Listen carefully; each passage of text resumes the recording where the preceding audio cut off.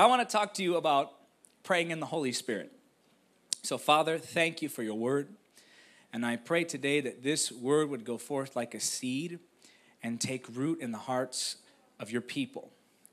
Cause them to be transformed, not just in this moment, but over a lifetime, as this word begins to bear fruit. In the name of Jesus, we pray. And everyone said. The Bible says in 1 Corinthians chapter 6 verse 17, he that is joined to the Lord is one spirit with him. In 1 Thessalonians chapter 5 verse 23, the scripture alludes to the fact that man exists with three different aspects to his nature his body, soul, spirit. Many of you have heard me teach on this before. And the reason I teach on this so often is because this is a foundational truth that once you grasp it, it actually opens up your understanding to how God operates, not just in prayer, but also in deliverance and also in healing and also in ministry and also with the anointing. Once you understand that you have three aspects to your nature. So I want everyone to say with me I am a spirit, who has a soul that lives in a body. One more time I am a spirit who has a soul that lives in a body. You are your spirit. You are not your soul. You are not your body. Your body is not the source of your identity. Neither is your body intrinsically evil or evil unto itself. The physical body is the temple of the Holy Spirit, and the Holy Spirit dwells there. Your physical body is your earth suit, so to speak, how you interact with the world around you, how you interact with everyone in this room and everyone you've ever interacted with before. It's through speech, it's through sight, it's through hearing, it's through touch. That human interaction comes in the earthly realm through that earthly being, the physical body. Now, the physical body is how you get around. It's where the decisions of your heart are manifested. The soul is the realm of decision. It's the neutral ground, the mind, the will, the emotions, the personality, the mind, what you think, the will, what you desire, the emotions, what you feel, the personality, how you behave. All of those contribute to what you're going to express in the physical body. And then there is a deeper part of you that the scripture refers to as your spirit. So the body and the soul are outer shells of who you are. They do not make you up in your entirety. Now, here's the issue when we pray and worship.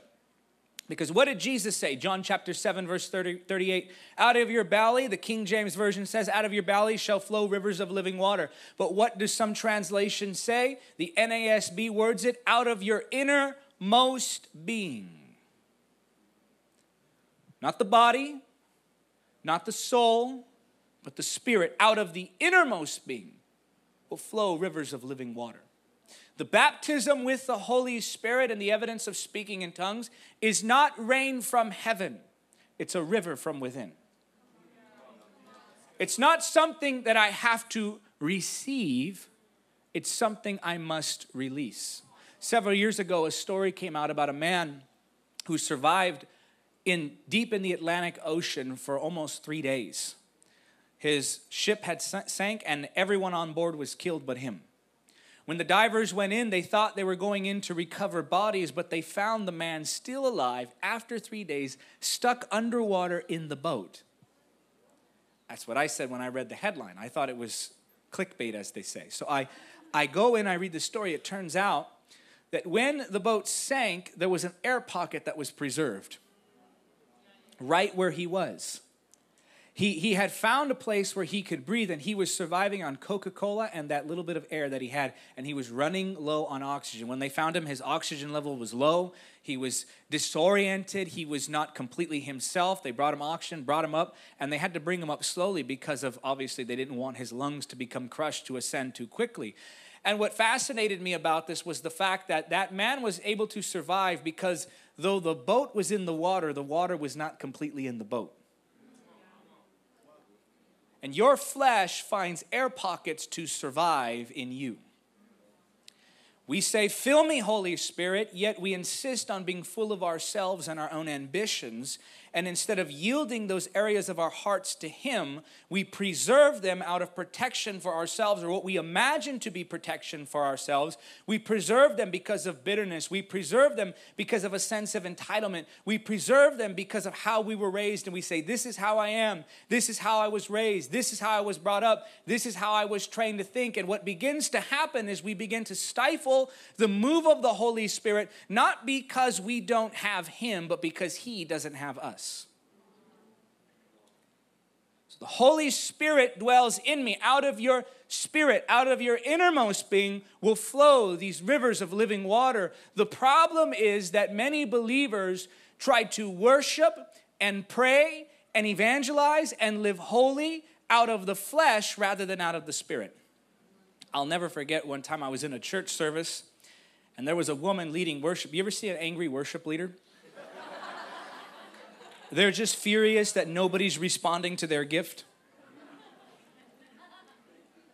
And I, I know the cliches that they use. You know, they, they, I remember we were standing there, and I'll just be honest with you, it was, it was not the greatest music in the world. I mean, the worship was wonderful, the music not so much. And I remember I'm trying to worship, but I couldn't worship because this worship leader was just yelling at everyone. Angry. Come on, lift your hands. Don't just stare at me. Do something. She's like like a militant. Like I was like, oh my gosh, she's gonna like make us all run laps right now. And, and so she begins to, to berate the congregation for not responding in the way that she had imagined that they should. And then I'll never forget, she says, This is what it's gonna be like in heaven. I turned to my neighbor, I said, I sure hope not. if this is what it's like in heaven, I don't, I don't know. Maybe we should just cease to exist because eternity with that, that might be actually more my idea of hell. So I remember she's just angry, and, and, I, and I, I, thought about this for a moment. I said, okay, so she's, she's mad that she's trying to push them and she's trying to get them to perform. The problem is, even if they were to start jumping and clapping and singing and dancing in response to what she was forcing them to do, they would be singing, but they would not be worshiping. John chapter 4, verse 24 says that those who worship him will worship him in spirit and in truth. That's the Word and the Spirit.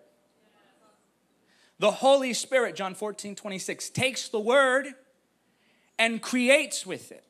The Holy Spirit takes the Word and brings forth revelation. All true worship is a response to revelation. If it's not a response to revelation, it's a performance, not worship.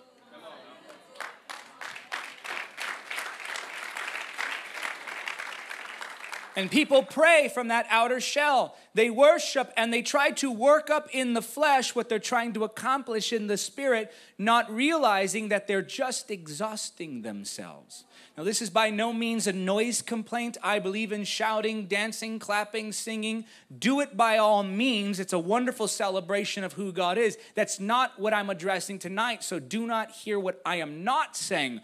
What I am saying, however, is that sometimes Christians become tired and overworked, and then they become discouraged. They don't want to worship, they don't want to pray, they don't want to understand the word, they don't want to evangelize. They grow tired in their fight for holiness all because they don't recognize that they're fighting from the flesh rather than resting in the spirit. They're pushing from the outer shell.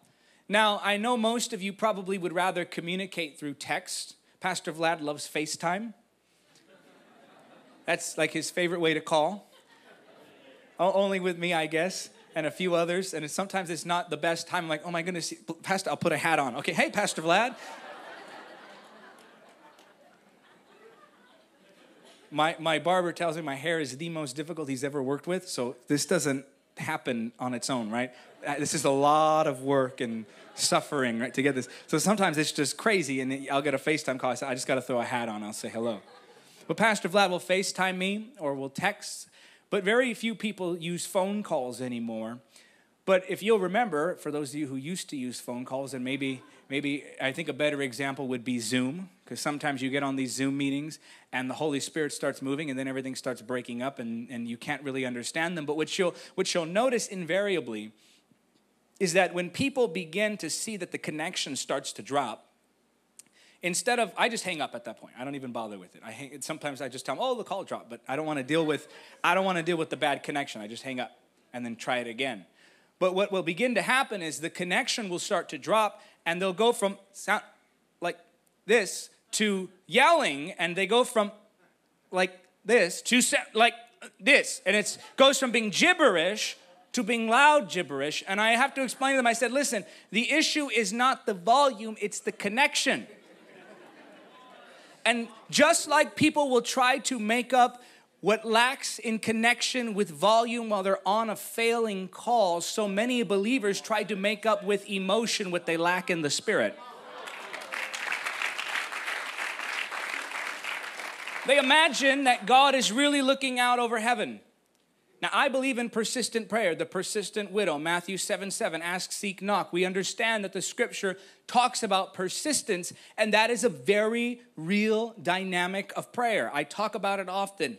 But I think the problem is that we have the wrong mindset and we misunderstand what persistent prayer is.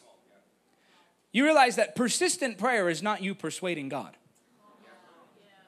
I mean, who could do that? If you show me something in scripture, they say, you know, well, Moses got God to change his mind. Let me tell you this God's will was that he would show mercy in the first place. He was just looking for someone to repeat that back.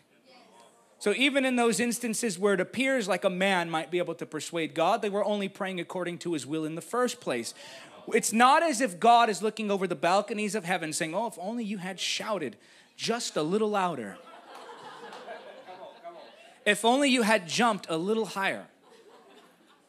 I mean, it, it does sound comical, but imagine how this mindset can apply when you're talking about a parent who has a sick child. As if God is withholding that healing, saying, Well, you didn't want it bad enough. No one is so persuasive as to be able to convince God to do anything. And if God missed something, if there was an angle that God could not consider, what mind, what human mind could point it out to him? Persistent prayer doesn't change God's will. Persistent prayer puts you in God's will. Persistent prayer doesn't change God, it gets you ready and causes you to be processed and able to receive God's will in the earth. Now, why am I talking about this? I'm talking about this because I think we misunderstand what praying in tongues is. If I were to ask you what is praying in tongues, you would give me a definition that likely includes the sounds and maybe that the Holy Spirit overtakes you. But what exactly is happening when we pray in tongues? What is its purpose? What does the scripture reveal about it? And why is it so powerful? I mean, you contrast this idea that the Holy Spirit can pray through you with this idea that many believers pray from the flesh, they pray from the emotions, and out of praying out of the emotions, they find that emotion fails. Many times people try to guilt God into response God, are you listening? God, if you're there, please. I told the Lord one time, Lord, if you don't respond, I have to quit the ministry.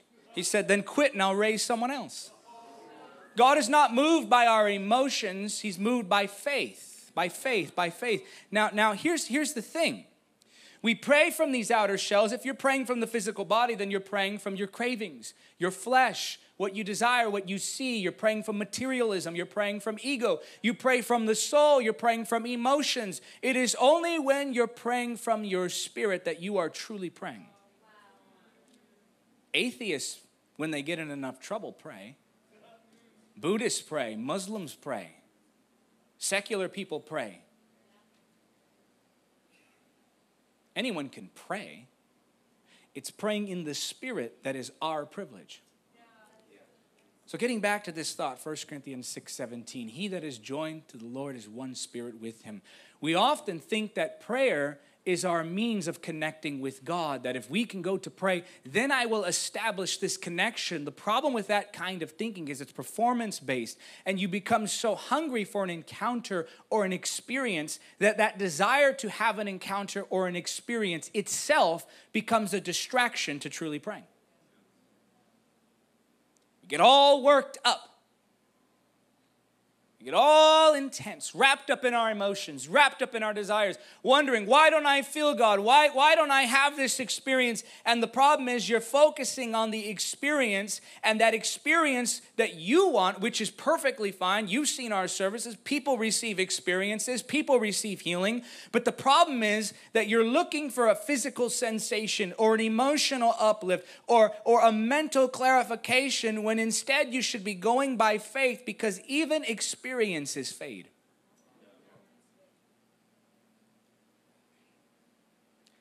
We become worried God, did I do something to upset you? You're not responding like I thought you should, or I don't feel that connection anymore. Kathryn Kuhlman had a dream. And in her dream, she saw three men kneeling. Jesus walks into the room. The first one, he reaches down and gives him a hug. The second one, he touches his shoulder. The third, he just looked at and walked right by. Kathryn said to the Lord, Surely you love the first one more than the other. He says, No, I love them all equally. What the dream represented was different levels of maturity. The first one needed that hug. But the other one was so built on faith, they didn't need the experience to know they were loved by the Lord. I pray from that place, that's what becomes discouraging. It becomes discouraging thinking that you have to work for something in prayer. Now, there is an element of discipline to prayer, no doubt all spirituality is a combination between discipline and obedience toward God and His power. All spirituality. But when you approach God with the mindset that, okay, I have to work for this connection now, that becomes discouraging. No wonder you don't want to pray. No wonder you don't want to come to the worship service. You think you're working for God's attention. The beautiful thing about praying in the Holy Spirit is recognizing that I am not praying to connect with God, I'm praying from connection with God. I don't worship to connect with God. I worship out of that connection. He that is joined to the Lord is one spirit with him. That means I'm already one. Look at, let's go to 1 Corinthians chapter 2. I'm going to show you something. 1 Corinthians chapter 2, this is one of the only churches where I don't hear pages turning, but you all because you all have your phones. I just realized I usually hear pages now at that point. 1 Corinthians chapter 2 verses 10 through 12. This is what the Bible says. But it was to us that God revealed these things by his spirit. For his spirit searches out everything and shows us God's deep secrets. No one can know a person's thoughts except that person's own spirit, and no one can know God's thoughts except God's own spirit. And we have received God's spirit, not the world's spirit, so we can know the wonderful things God has freely given to us. What is this describing? This is describing a fellowship with God that is occurring 24 7 on a daily basis. In my spirit, I know Him. In my spirit, I'm one with Him. In my spirit, I'm already holy. In my spirit, I know all things. That's what First John chapter 2 verse 27 is talking about. I received an anointing and I don't need anyone to teach me that I'm saved. Not I don't need anyone to teach me the word, otherwise God wouldn't have given us teachers, Ephesians 4:11. But God gave us the Holy Spirit to stir that inner knowing within our hearts, and it is by the Holy Spirit that I come to understand the word. It is by the Holy Spirit that I receive my true inspiration to worship. It is by the Holy Spirit that I pray from confident faith. It is by the Holy Spirit that I overcome sin. It is by the Holy Spirit that I evangelize with boldness. It is by the Holy Spirit that I live this Christian life. He does all those things. That's the work of the Spirit in me. The work of the Spirit energizing my spiritual life, the work of the Spirit out of that oneness. Do you realize that revelation is not you learning anything new? Everything I'm teaching you, you already know it in your spirit. Revelation is not the receiving of new knowledge. Revelation is when that which I already know in my spirit is manifested in my understanding. That truth is already in you. That's why, as I'm talking, something's clicking. That's why, as I'm talking, something's stirring. This is spirit to spirit. My spirit talking with God's spirit, that connection never being undone, that connection never being hindered. It's what is it then? I must surrender to what I already have in my spirit and let it manifest in the soul and the body. Now, watch this. I'm going to show you a verse that's most often, as far as the subject of speaking in tongues goes, this is most often misunderstood. Romans 8:26.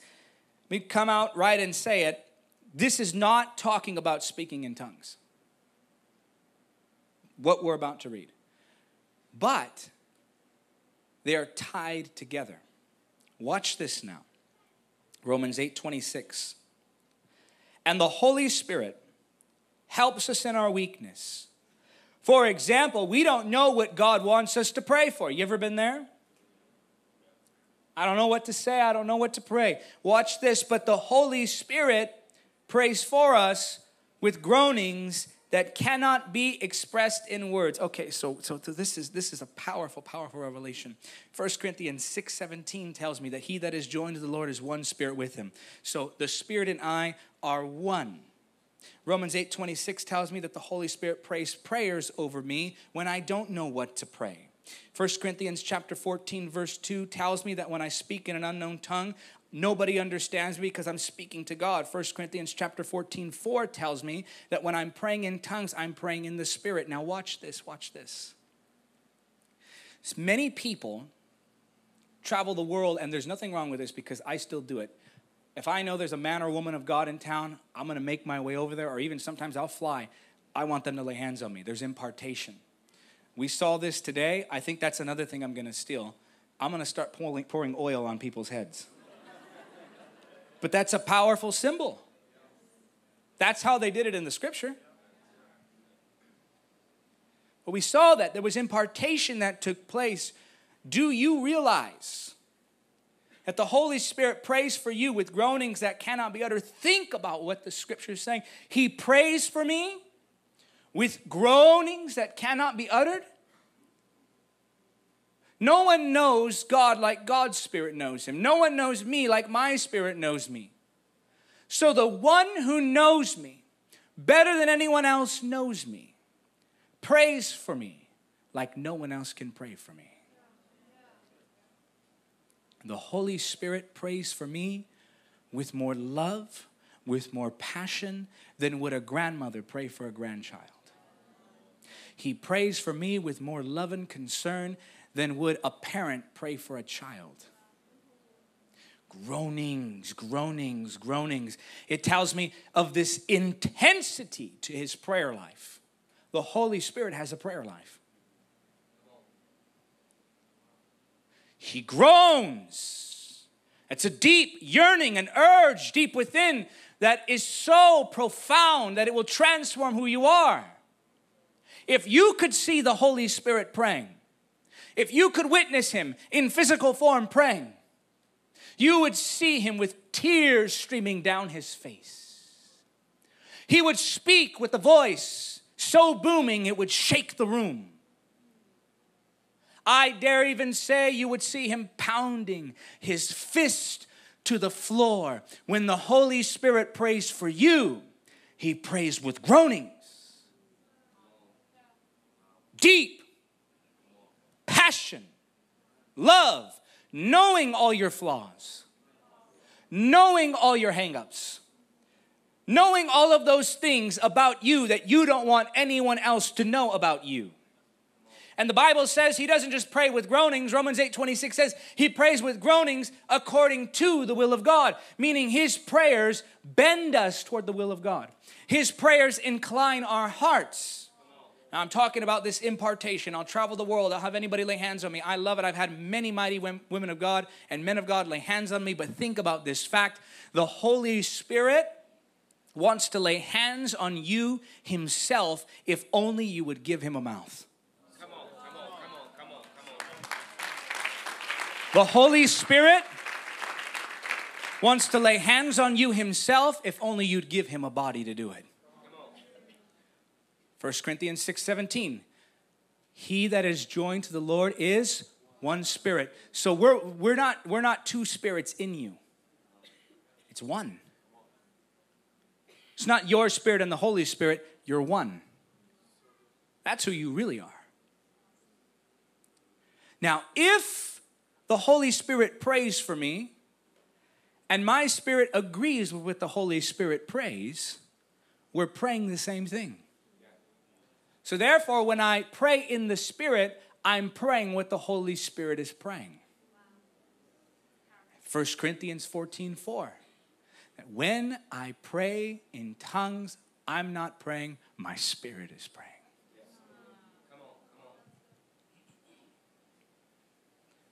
When I pray in tongues,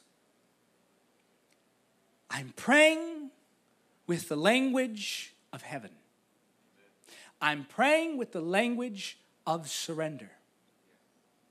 There's a story about a pastor who was trying to teach his daughter to pray. She was a little girl, and he pulled her aside and said, Look, before bed each night, I, wanna, I want you to start praying, and I'm going to listen in, and we're going to talk to God together. So the first night, he prays, and she repeats after him. Second night, she starts to pray her own prayers, making requests. She would pray for her mom and her dad and her friends and her grandparents. And so the next night comes and he decides, I'm going to let her learn on her own now. I'm just going to let her pray, let her do her own thing. He comes by the door, cups his ear to the door, leans in, and he hears her little voice praying A, B, C, D, E, F, G. I'm not going to sing the rest. She starts singing the alphabet. He, he, he chuckled, it was funny. He went on his way. The next night he comes back, cups his ear, leans against the door again. A, B, C, D, E, F, G. Now he's growing concerned. Did I teach her to pray properly? How do I talk to her about this? Because I don't want to stifle that passion she has for prayer now. He says, I'll let it go one more night. Tomorrow night, if she does it again, I'll talk to her. Third night, he interrupts the alphabet. He walks in. Sweetie, listen, we talked about this. When you pray, you're talking to God. You're, you're, you're speaking your request to Him. You're letting Him know what you need and how much you love Him. You're just singing the alphabet. You're not praying. She says, Daddy, I am praying. I just give Him the letters and let Him arrange them however He wants.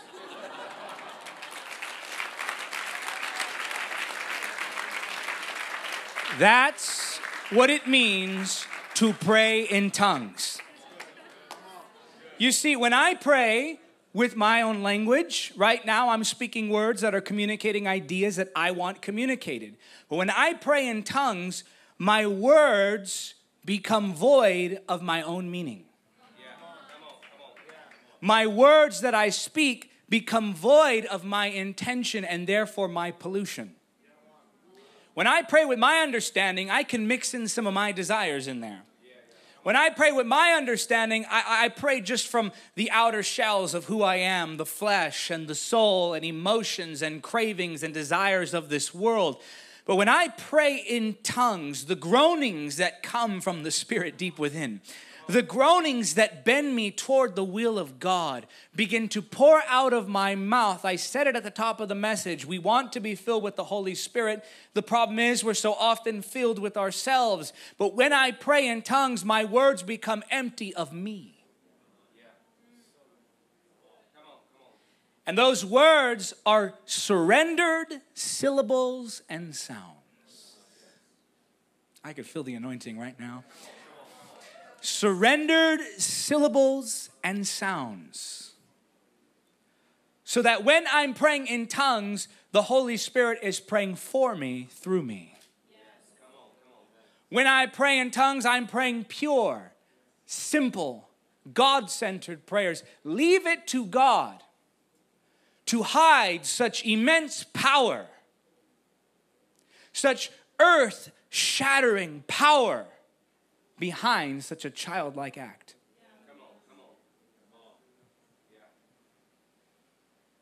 surrendered syllables and sounds. When I'm praying in tongues, that river from deep within is flowing out, moving through the soul, touching the body, and coming out on my voice. Can you be saved and not pray in tongues? Sure, you can. Can you be filled with the Holy Spirit and not pray in tongues? I don't know what Pastor Vlad teaches, so I'm not going to say either way.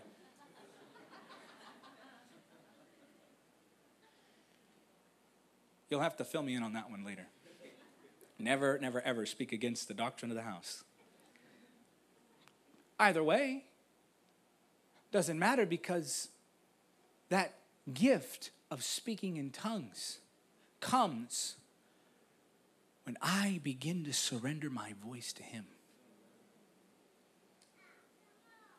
I begin to surrender those things about me that I don't even know I'm surrendering. He begins, you know, sometimes I pray in tongues. I won't know what I'm praying about, and then I'll just notice a small change in my character. And I had no idea I was, I was rebuking myself. you know, when, when I pray in tongues out loud, when putting together messages, the Holy Spirit will speak to my spirit through my own voice. And what I hear, though it's the language of the Spirit, it becomes revelation, and I write it down.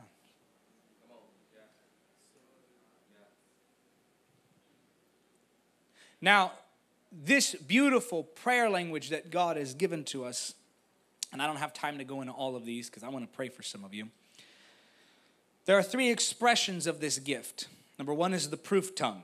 It's found in Acts chapter 2. That's when they spoke a language aloud, and everybody in that region heard the group speaking in their own language. Now, the interesting thing about this particular expression of the gift of tongues is that we don't know whether the miracle was manifested on the speaker's end or the hearer's end. Read it very carefully because many of the people who watched the church praying thought they were drunk. Often skeptics will point to this portion of scripture and they'll say, this is proof that it's an earthly language. Well, compare that with 1 Corinthians chapter 14, 2, which clearly says it's not an earthly language. And then look at what it says that each one heard the entire group speaking in his own language. The entire group couldn't all have been at the same time speaking multiple different languages. I think the listener heard the group as the Holy Spirit interpreted it. It's Acts chapter 2. That's the proof tongue. Then there's the prophetic tongue. This is to be used in the collection of believers, the body. This is where one stands up, prays in tongues, somebody else interprets it. That's the gift of tongues and tongues interpretation. This is what Paul the Apostle was referring to in 1 Corinthians 14, and this is what he was referring to in 1 Corinthians 12, where it says, Do all pray in tongues. What he was saying is, Do all pray in tongues and interpret. In other words, the public expression of the gift. This is not what the scripture was, was referring to as the third one, the personal tongue. That's 1 Corinthians chapter 14, verses 1 through 4. The personal tongue benefits the individual, 1 Corinthians 14, 4. The prophetic tongue benefits the church, 1 Corinthians 12, 7 and 14, 26. The proof tongue benefits the unbeliever, 1 Corinthians 14, 22. By the way, for those who say that we shouldn't pray in tongues in front of unbelievers, how is it supposed to be a sign to the unbelievers if they never hear it? Not to mention that every time the Holy Spirit would fall in the early church, they would all begin praying in tongues publicly. Paul the Apostle or Peter didn't stand up and say, Hey, everybody, knock it off, go home and pray privately. Why would the Holy Spirit manifest his gift in a public setting if that's not what it was meant for? The personal tongue requires no interpreter or interpretation to be beneficial to the individual. The prophetic tongue requires an interpreter to benefit the church. The proof tongue requires no interpreter for the interpretation to be understood by the unbeliever. The personal tongue is understood by no one but God. The prophetic tongue is understood by the church with the aid of an interpreter. The proof tongue is supernaturally understood by the unbeliever. A communications of the Spirit now, I don't have time to go on all the misconceptions, so I want to tell you just one thing that's going to block you from receiving your gift. In Acts chapter 2, Peter stands up. He says, What you see and hear is for all generations and for all who believe. What were they seeing? What were they were hearing? They were seeing the power of the Holy Spirit. They were hearing them praying in tongues. That was the promise of the Father for all believers. Paul said, I desire that you all pray in tongues. Now, why would Paul the Apostle desire something that was contrary to the will of God? And why would he put it in the scripture? And why would the Holy Spirit allow that to be in the word if that wasn't God's will? So we can go on all day about why the gifts of tongues are for every believer. But the main thing, the main reason here, and you're not going to like what I have to say, I'm not a contrarian. I don't like to be controversial just for the sake of being controversial. When there's controversial situations that require that I be bold, I do it, like in California with our demon possessed governor who wants to shut down churches. That's a time to be bold and say we need to come up against that, okay? So, so there are times to be bold, but whenever there is a time to be bold, my goal is not to be controversial. I didn't say that to be controversial. The man is demon possessed. It's a reality. I'm not trying to stir up strife or ruffle feathers. It's a reality that needs to be said. Now, in regards to what's happening in the church today and the gift of speaking in tongues, I'm going to tell you a truth that many of you, at first, your reaction is going to be wait a minute. You're going to be a little offended at that.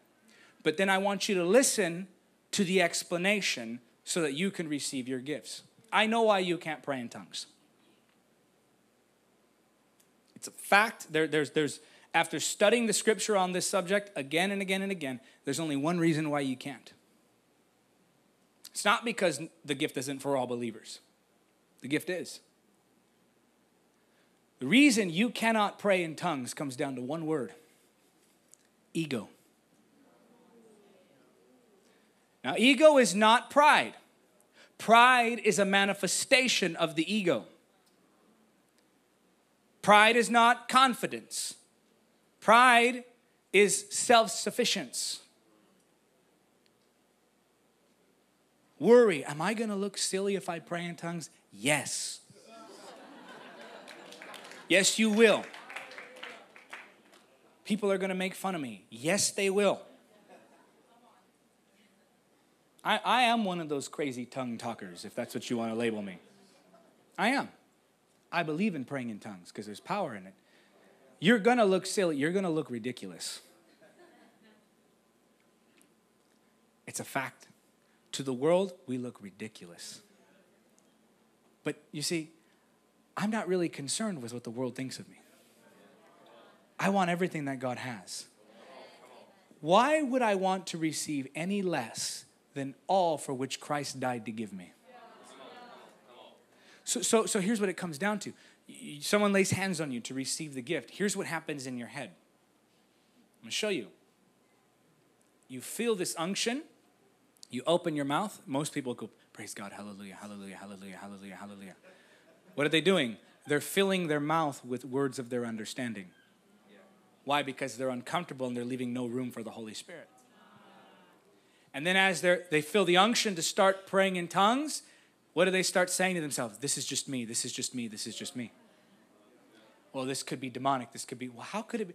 Like, I don't understand how people take it so far. Like, even if the critics are right and the gifts have ceased, that I make some, some verbal expressions with no meaning in adoration and worship toward God, that that's somehow demonic if the gift of tongues have ceased, then me, it would be like me humming a tune. There's no understanding or words in there. It'd be like crying tears. That's just an emotional expression of worship. At the very worst, it's just an emotional expression of worship. But it is a gift of tongues. It is a gift of the Holy Spirit. And you're not going to receive a demon. Jesus said, if you ask for the Holy Spirit, I'm not going to send you something else. You say, well, how do I know? I trust not in my ability I trust not in my ability to receive, I trust in his ability to give.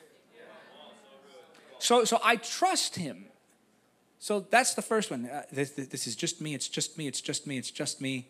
I'm gonna get a demon, I'm gonna get a demon, I'm gonna get or or you think God's gonna get mad at you because people think it's the blasphemy of the Holy Spirit if they pray in tongues, but what if it wasn't God and I tried it? That's fear. That's doubt. It's hesitancy that's self consciousness, that's all ego. One of the biggest lie concerning the gift of speaking in tongues that keeps people from praying in tongues? The biggest lie, the most effective lie, I should say, is this idea that the Holy Spirit is going to come and grab your tongue, start moving it up and down. Now, some people report their stories. They say, well, when I received the gift, you know, it's kind of a point of contention there. When I received the gift, nobody taught me and I just received it and I just, I couldn't control it. Yes, you could. Yeah, you could. You know how I know? Because the Bible tells me. 1 Corinthians 4. You may f- have felt like you couldn't control it, but you can control it, and it was you participating with the Holy Spirit. So, so sometimes people's experiences can discourage us from having our own because, well, they, they, they, they couldn't even control it. It just came out. No, no, no. They felt like it, and that's what they think. And so they're communicating it to you, and you're believing that lie. So when the Holy Spirit comes upon you, it's like starting an engine to the car. I always, I mean, I, I, I used to be, Pastor Vlad, I used to be, and I'm confessing here in front of everybody, I used to speed when I would drive. I, I was, uh, yeah, I know. That, and I used to take, you know, from the, the water cup, I would take soda. I know. I know. I always wanted those testimonies, like ex gang member, ex this. I don't have that. My testimony is God kept me from all that. But, but you know, the, the, the, the truth of the matter is, I used to do that. And I don't understand. I don't understand. I never did. I mean, I drove fast because I thought it was fun or I was in a hurry, but I never understood this idea that people, when they drive their cars really fast, they feel cool. Like, we all know it's not you going that fast, it's the car. like, why are we, why should we, why should that impress us? I feel like such an old man. Steve's a witness. Every time we're on the road and a car zooms by, I'm like, oh, just so foolish. What is he, what is he trying to prove? I go, yes, we're all very impressed that you had the skill to put your foot on the pedal. It doesn't make any sense to me. And I, and I, I think about it, people, people kind of think, yeah, that was me. I went 80 miles. And like, no, you didn't. That was your car. Your ridiculously loud car. But that's how it is when you pray in tongues. You see, it's not really you doing it, but it is. It's, it's the same thing in the same sense we fulfill the law through Christ. How do we fulfill the law? Well, you put your foot on the, tab, the, the, the pedal and the engine takes over. You put your faith in Christ, He fulfills the law for you. When I pray in tongues, I'm not, no, I'm not the one doing it. It's my spirit, the scripture tells us it's my spirit praying. So when I'm praying in tongues, me putting my foot on the pedal is releasing the sounds. You have to release the sounds. And then you're going to sense the takeover. I'm praying in tongues. Is this just me? Yeah, partially. Do I look silly? Absolutely. But that's okay. And it starts to come out you begin to pray in tongues, and the Holy Spirit adds his power. The Holy Spirit adds his intention. The Holy Spirit adds his own meaning and purposes. But it's going to always come full circle. You, you can tell me, I have people tell me, I've been to all the altar calls. I've tried so many different times. I've tried so many different ways. Even in my service, they say, You said I would pray in tongues and I didn't. I say, Well, why didn't you? I watch them. They stand there frozen. And this is by no means criticism of you, but I'm trying to help you break this mindset. How am I on time? I don't see a clock anywhere. Okay, good. This guy's pointing at the clock, but there's nothing on there. It tells me what time it is. I don't know how much time I have left. Anyway, I'll just take that from Pastor Vlad. He says, just go.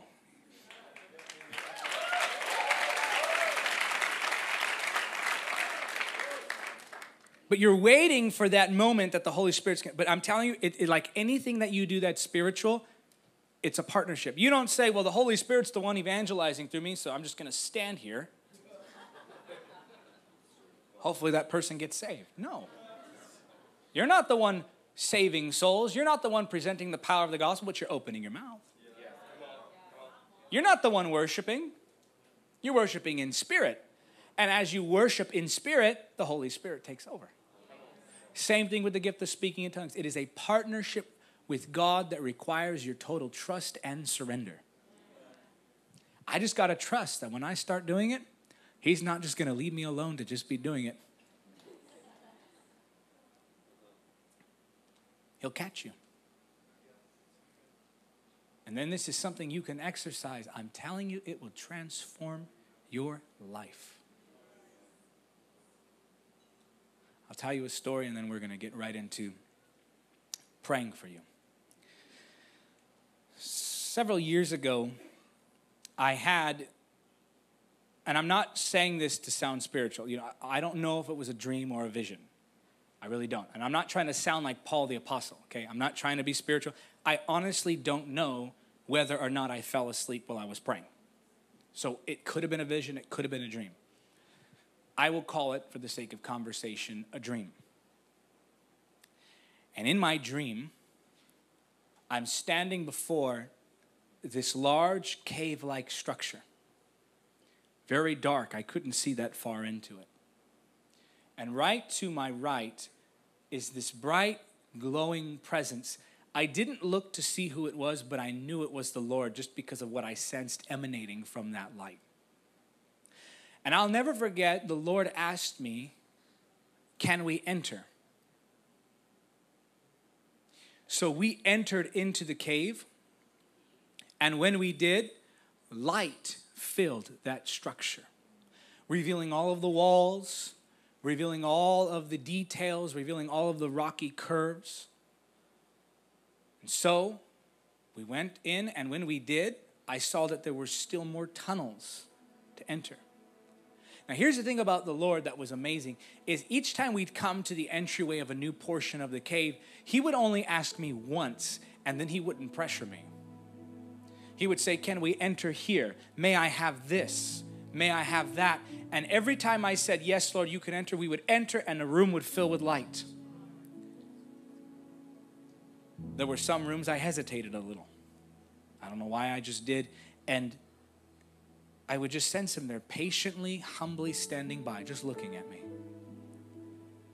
You see, the Lord will speak and then not speak again until you've obeyed what he's already spoken.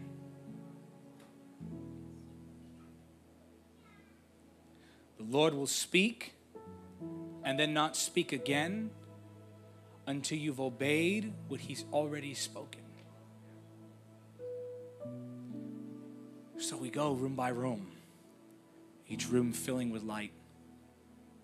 Until we came to one point, and to this day, I still don't know what this represented in my dream. Probably just some deep wickedness in my heart or something. I don't know.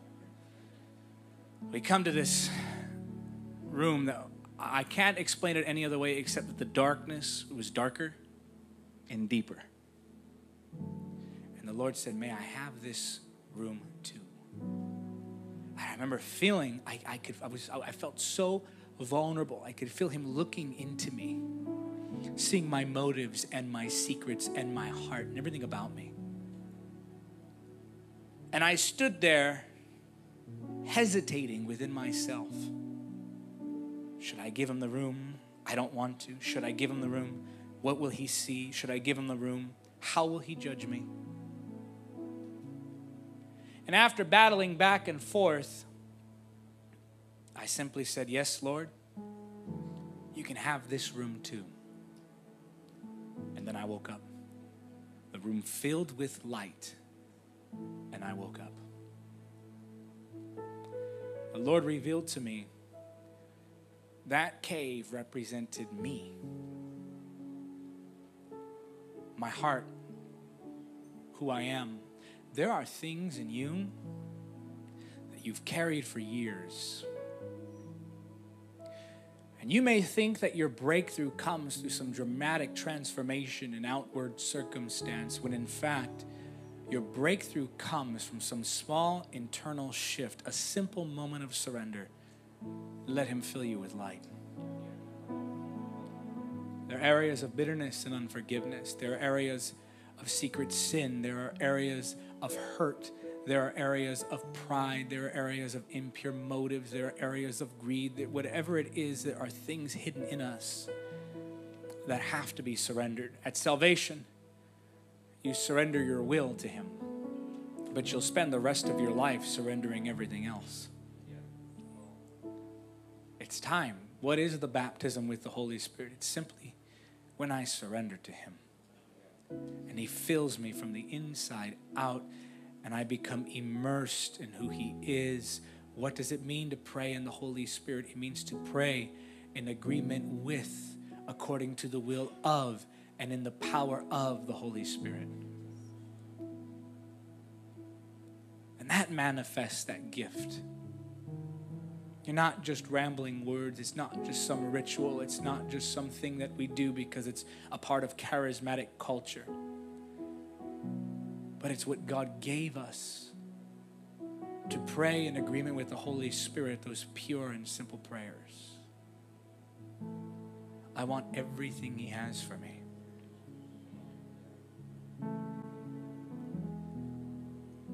What I want to do in this moment before we pray for those of you who want to receive this gift, and you will tonight, you will tonight. But what I want to do is take a moment to surrender to Him. Everything again. I, I, I often say if you, if you have to crown Him Lord every morning, do it every morning. Every morning. He'll take you back, He won't reject you. So, hands lifted, eyes closed. I just want you to begin to pray in the Holy Spirit if you do.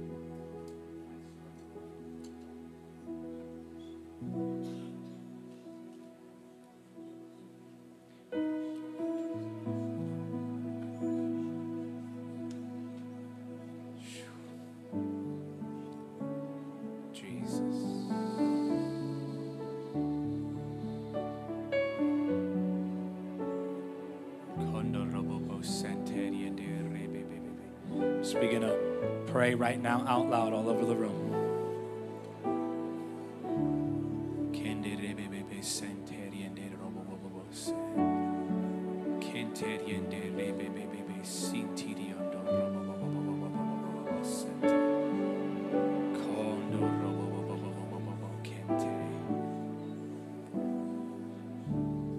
With every voice lifted, we sing, I surrender all.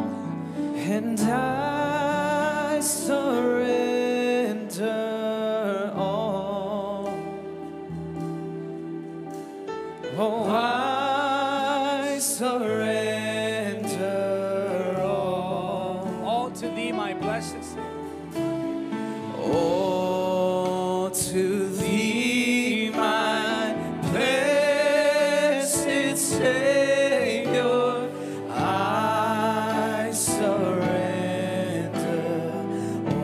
From the depths of your spirit, cry out, I surrender all. Oh, I surrender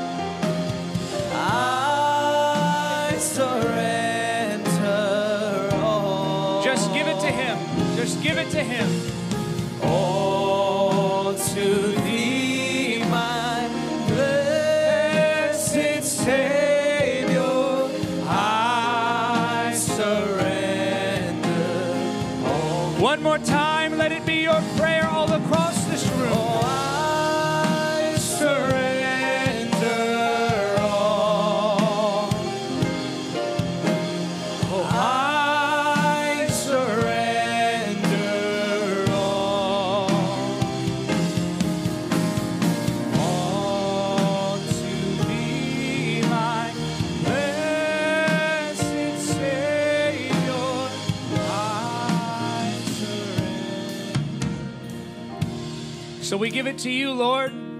Whatever it is we entered this room with, we give it to you.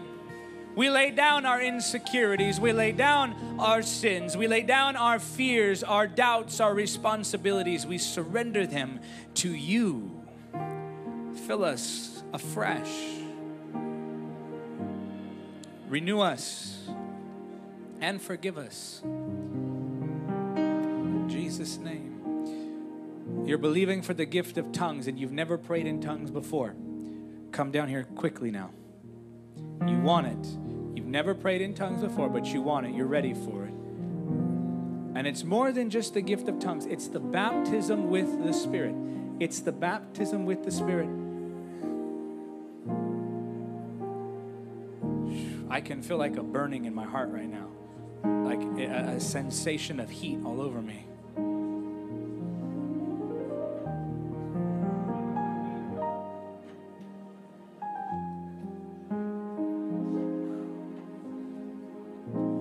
Everyone stretching your hands toward these up here.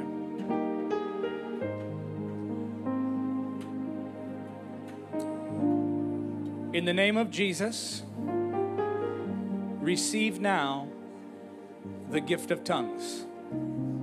Receive the baptism with the Holy Spirit.